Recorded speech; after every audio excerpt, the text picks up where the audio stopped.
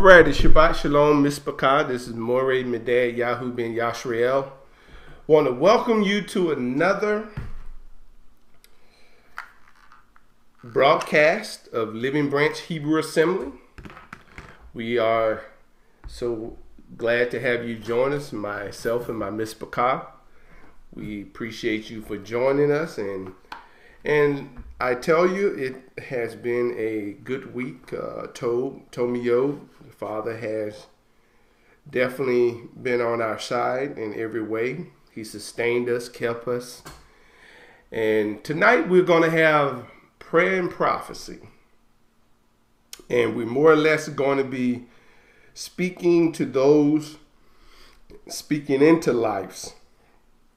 Because I find as we continue to move forward, that more and more people need someone speaking into their life. This the and when I say speaking into their life, I mean speaking the words of life, the things that bring life. Because remember, in your tongue, there's the power of life and death. So we want to speak life to you, life everlasting, life that comes from the Torah. And we're thankful that we're able to just share with you.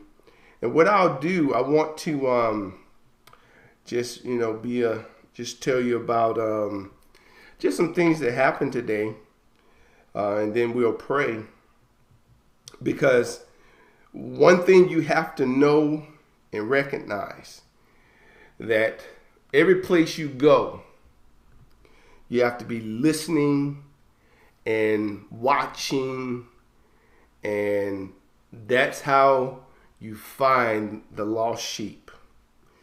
So, as I was traveling today and out doing and taking care of things uh, and going to some appointments and various other things, I had to stop by um, one of the cell phone stores. And so when I stopped, you know, I went in, I asked them if they had something. The guy said, no, we don't have it. Then another guy, um, a brother, uh, said, well, let me look. I always keep an extra one of those in my um, bag. So he was looking through his bag, you know, he was pulling out stuff. He had stuff in his bag. He's like, oh man, this is like my mama's purse. he had me laughing. So he th- throws some stuff away. But in the process, I was paying attention. And he just so happened, I saw a glimpse of a book I recognized that talks about Tibetan. And it's one of the historical, you know, black books that you read. And I asked him if he was reading that. I asked him if he heard of the 13 lost tribes. And we started talking, chit chat a little bit. He asked me, did I know uh, Moreh so and so? I said, yes, I do. Uh, he's a very good brother. So I was telling him, you know, um, that we broadcast online and different other things. So I got grabbed a couple of bookmarkers and gave it to him. And he said, man, we'll be in touch. So just by having my eyes open and paying attention, I was able to witness to someone else and perhaps carry them a little further in the path than they've already been. Then I was out, um, I went by a store and someone had a, a stand up selling their books. Of course, it was Christian books. So on my way in, he asked me, um, you know, to stop by. I said, well, let, let me see you on the way out. So on the way out, I was, you know, I was looking at his books and started asking him a couple questions and told him, yeah, I, you know, had a chance to go to Israel. And then he was telling me, you know, he wanted to go in the group he wanted to go with. So I started to explain to him some of the things that he may think, he may thought had to have been true that are not true. And I explained about the sign that says the city of David is this way and Mount Zion or Zion is this way. But if you look in scripture, it says they're the self same place. So why would they have it pointing in two different directions?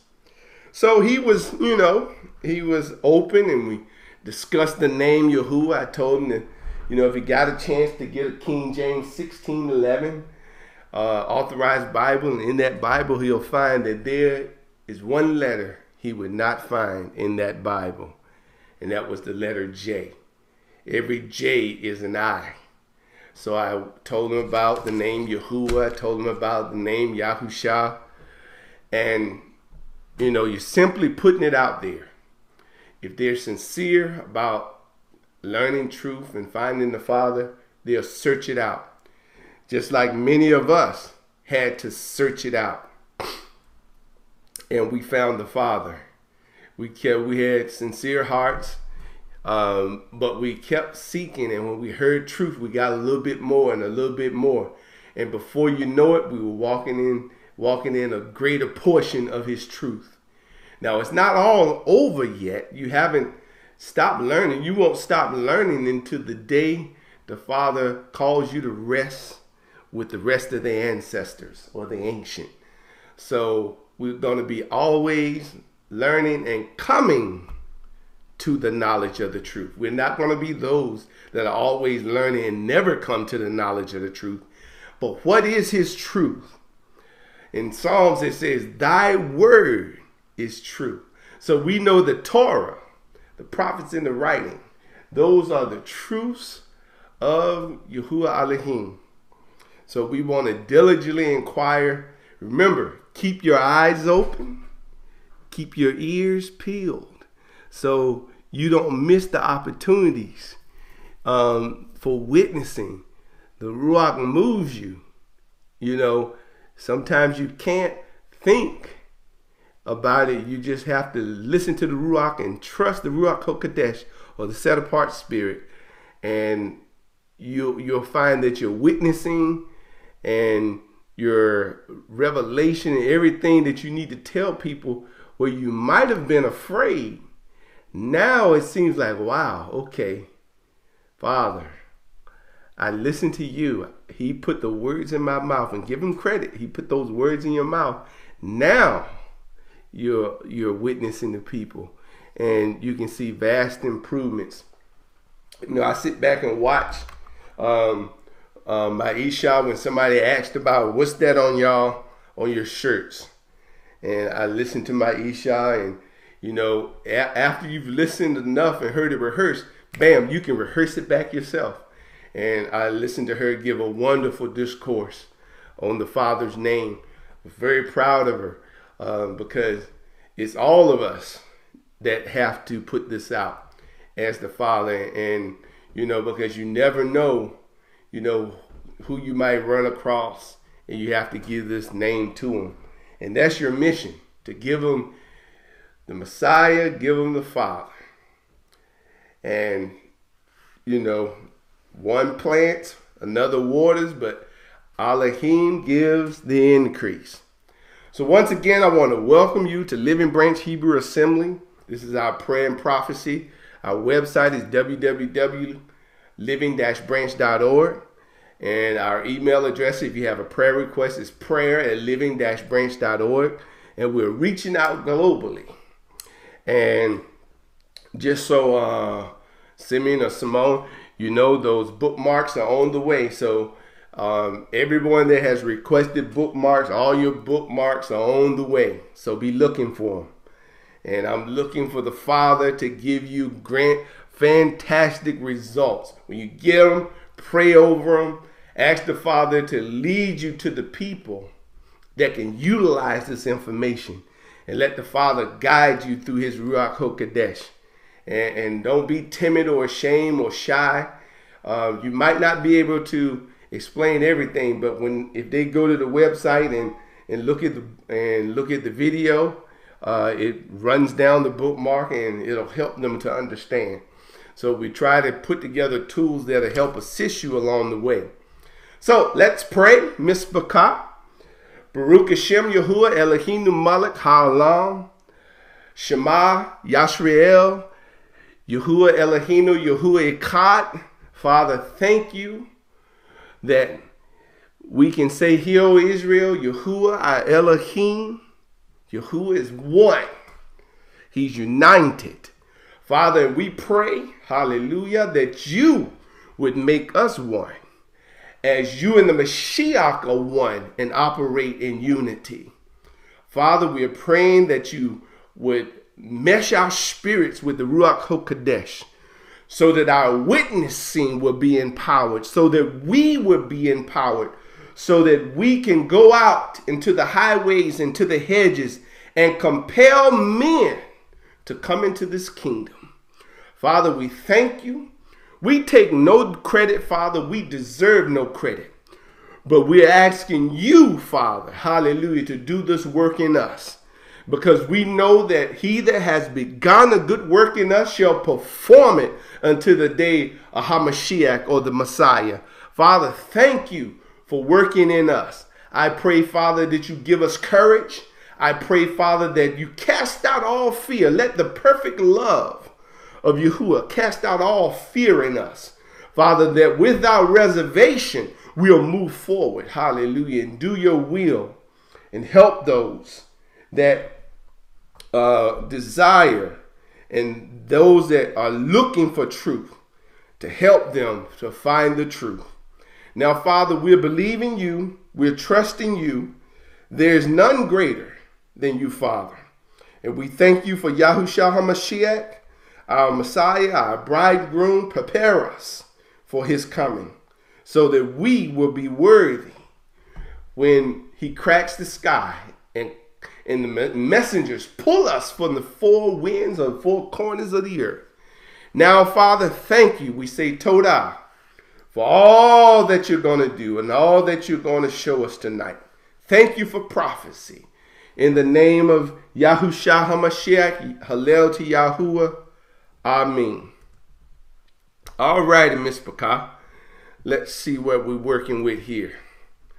Okay, what we want to do, we want to do a little prayer tonight. We want to come back to the the foundation of who we are and what we do. And that's prayer and prophecy. And I want to thank those that have emailed me and sent encouragement and use the offices or the callings and gifts that the Father has given you to encourage me along the way and to encourage my Mishpachah. We pray that the Father baruch you. We pray the Father just increase your gift and give you courage and stability so that you will use your gift to his esteem. See, many of us have giftings and callings. We called to be a prophet. We're called to be a prophetess. We're called to be which uh, a seer, which it was called before it was a prophet. And we're called to be dreamers. We have giftings of the Ruach HaKodesh, gift of prophecy, healing, and different the different gifts that Shaul, the apostle Shaul Shaliach, Shaul talked about. But yet and still, we're timid in using our gifts and our callings. But I want to let you know that the gifts and calling of Elohim are without repentance. If you want your gifting or your calling or the office that you operate in to increase and be strengthened so that you have confidence, you have to use it. You cannot let it go dormant and not do or say anything if you want it to be strengthened, you have to use it. And just know and give credit where credit's due that it's not you, but it's the Father that's giving you these words to say. Remember how the Mashiach, how the Messiah did? He said, These words aren't mine, but these are the words of him that sent me. And you can find that all throughout the Brit Hadashah in the in the four uh, the writings of the four good news, where he states that these words are not mine. So have confidence that if you know that the Father is speaking, you know He speaks to you. Come on, you, you, you got to you got to confess this now. Confession is good for the soul. But let, let me let me go back just a step. Because what I want you to do is be strengthened. And sometimes to be strengthened, you've got to ask for forgiveness. Because you knew when he prompted, I feel I feel the Ruach HaKodesh moving through my hands right now. So you might feel him in your hands uh, um, if you're out there. But but I can feel the power of Elohim moving right now through my hands. And what I want to say to you, you have to come from a position of confession and repentance because when he gave you the opportunity to use your calling and he prompted you to use your calling, but you, because of fear, didn't, you have to ask the Father for forgiveness for that. And let me just pray with you. If, if you know that's you tonight, I want to pray with you because I don't want you to miss out on what the Father has for you. Father, I'm joining forces with those, Father, that in past times might have been intimidated or might have been fearful because of the gifting. They may not have totally understood it or might not have readily recognized it. But Father, they're walking in agreement with me right now, and they're asking for your forgiveness.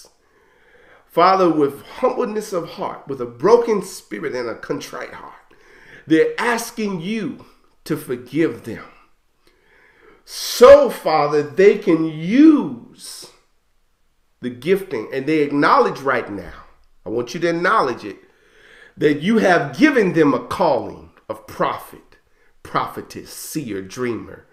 Or you have given them through the Ruach HaKodesh the gift of prophecy. You have given them the gift of faith, the gift of healing, the gift of interpretation, the gift of tongues. You have given these gifts. And yet and still, Father, they let the pressures and the opinions of others suppress the gifting that you gave them. Father, they humbly, hush. Mm, thank you, Father. Father, they humbly ask your forgiveness. And Father, I speak over them forgiveness. And we're in agreement. Now, Father, cause their spirit to be lifted. Now that that that that has been forgiveness has been asked and repentance is there, their heart is fixed and their mind is right and that that spirit that the, the fear that the enemy had over them has been lifted off of them now i pray father let them go forward give them more prophetic in the office of prophet in the office of prophet and prophetess or seer show them more dreams let their gifting whether it's gift of prophecy gift of healing all the giftings that Shaul, let their gifting flourish now. Let them be open and receptive to what you speak and what you tell them to do. That they'll do it and do it because you told them. Now, Father, I prophesy to them. I command the wind of prophecy, these words that I have spoken, to blow into their life right now. The words that I utter, let life flow through them right now. Through the Mashiach Yahusha, let the Ruach HaKodesh confirm as a witness in their spirit that the course that I have charted and prayed, that they're in agreement with, and they can move forward without fear, without doubt, and they can know that you're going to use them. Because they've been asking, Father, for you to use them. Now it's time for them to step out. Not on blind faith, but step out on your word. That that which is spoken shall not return unto you void, but it shall accomplish that which you have set it out to accomplish. Now move. Hallelujah. Let it blow right now through their life. Not a blowing of destruction, but a blowing, Father, that brings them together, brings their spirit together, that brings them in accord with you and the Messiah. Father, I say hallelujah for this prayer. I say hallelujah because you didn't have to allow this to go forward, but you put this in my spirit tonight, Father. And I, through obedience, Father, speak it. Now, Father, let testimonies come back. Let those that have heard it witness it. That you have spoken, not me. Father, I humbly submit myself and I thank you for what you're doing. In the name of Messiah, Yahusha, Hallel to Yahuwah. Amen. Now, Miss Bakai, if you if you have your family there with you, whether you're um, what, whatever uh, scriptural capacity your family operates in, uh, whether it's your wife, um, you might have someone you're betrothed to, or you have your children there with you. Just grab them up. Just grab them up. I want to pray for your family because what the enemy desires to do, he like he told he told Kepha or Peter that the enemy desires. This is what Messiah told him. Desires to sift you as wheat. He don't want you to flourish. So that's why he uses things to try to throw the balance in the family off. And sometimes people miss this. In a family, there's balance. The Ish has his role and position, the Isha has her role and position, children have their role and position. If you have other um, authorized positions that the script that are scripturally sound. All of them are to serve a purpose. So what the enemy has to do, he tries to stir things up to throw the balance, the unity in the family off. And we have got to strive because remember, there are only two seeds in the world. There are only two types of light the light and darkness. Remember, you're either on one or the other. So you've got to make sure that you keep darkness out of your mishpachah. And darkness can come many ways. Sometimes you think it's acceptable how darkness come in because that's what you're accustomed to. But see, the scripture says, I didn't say this, uh, excuse me, but the, uh, the witness says, What fellowship has light with darkness? What fellowship with does, does righteousness have with unrighteousness? And you got to take it at his word. What, what does it have? They have they, they have nothing for each other. Sometimes we try to make something, but really there is nothing. And we want to make sure we want to pray over your families, your mishpachahs, that they're strengthened, and that the light of Mashiach, because he said, Now you ye are the light of the world, will shine through you all. Father, I pray for every mishpachah under the sound of my voice. I pray for my mishpachah. I pray, Father, that you give us wisdom, knowledge, understanding, recall, memory of Scripture, so that we, Father, when we're out here, we will judge everything righteously. We will see it for what it is. Either it's in the light or it's not in the light. Either it's righteousness or not righteousness. Father, so that our mishpachahs will stay ikad, they will stay united, they will be balanced in you, Father. Do this, Father. Shield us. Cause us to be on one accord. Cause us to, as Matthew or Matthew 6.33 says, Seek ye first the kingdom of Elohim and his righteousness, and all these things shall be added unto us. Help us to put the things that are first. And as Shaul said in, in Colossians, Seek those things which are above, where Yahusha sits on the right hand of Elohim. He's the one in power. Father, I pray that you let this flow through our spirits, flow through our mishpachah. Push all unrighteousness, push all darkness out. Help us be the shining light. A light that's not set under a bush, but set on a hill. In the name of Messiah. Because there shall be no darkness in the kingdom. Help us, Father. Help us in the name of Messiah Yahusha. Hallel to Yahuwah. Amen. Hallelujah.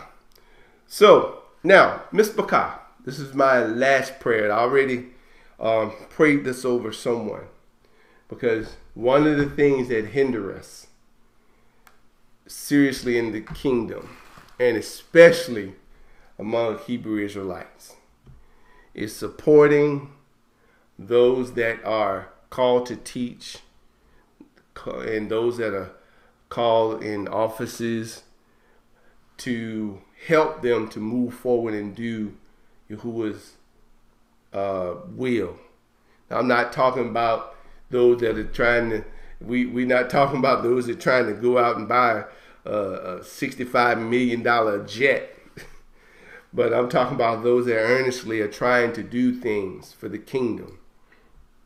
We have lost our sense in Israel how to support and how to be a, how to barack others that are out here doing things for the kingdom. You know, um, this week we we send out bookmarkers all across the world. Didn't ask one cent from anybody, but yet and still, postage is not free. The book not markers are not free. And so far, I've had one person, and Yahuwah Barak, that person, that has asked for bookmarkers and said, hey, well, let me give you a donation. You know, no donation is too small, no donation is too big.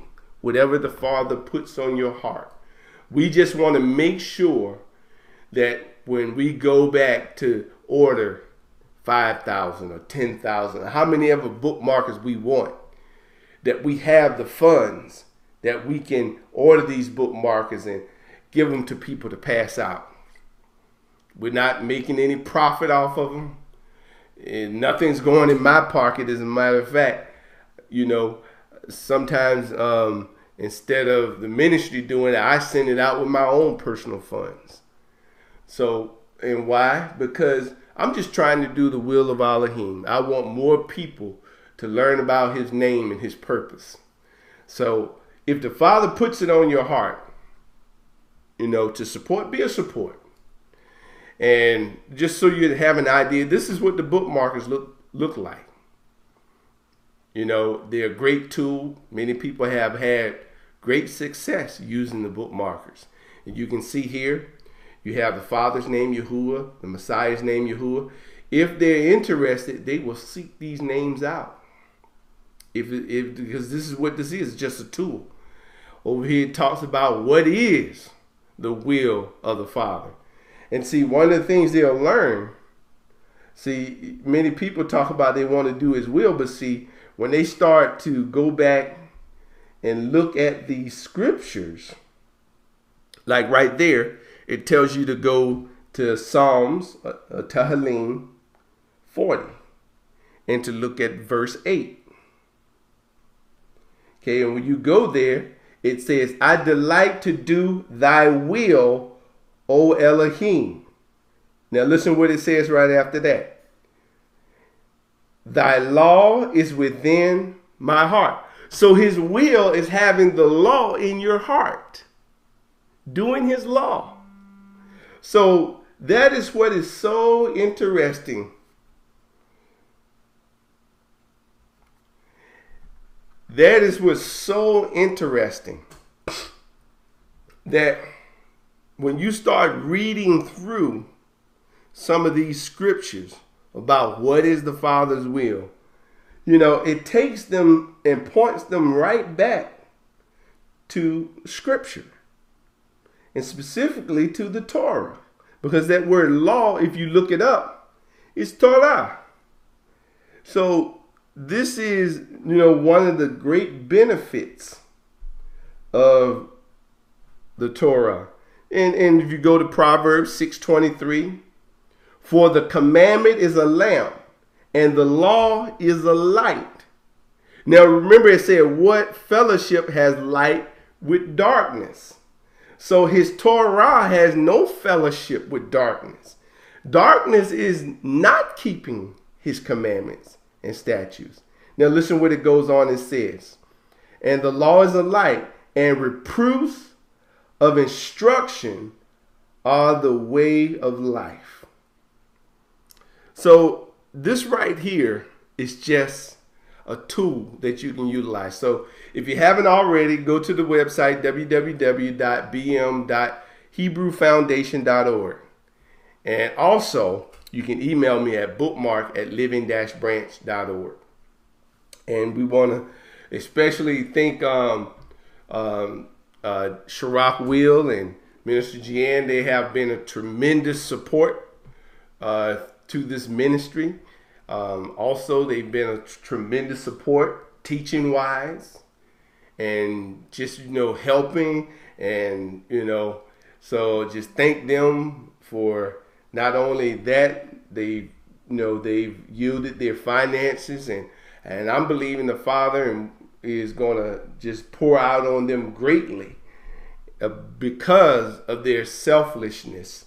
They they've um, they've definitely been uh, a uh, blessing or barak to this ministry. Now, here are some resources for you. You still can go to our Living Branch website.